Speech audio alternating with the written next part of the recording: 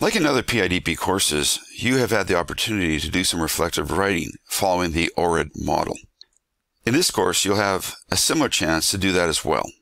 Rather than give you some of the quotes or topics to focus on, we are allowing you to use anything from the course textbook to reflect on. Because this course is about learning and the adult brain and mind, the quote within this slide talks about one of the reasons why and the impact of reflective writing on the learner.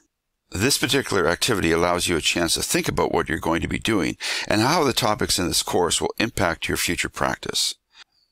I'm looking forward to reading your reflective writing.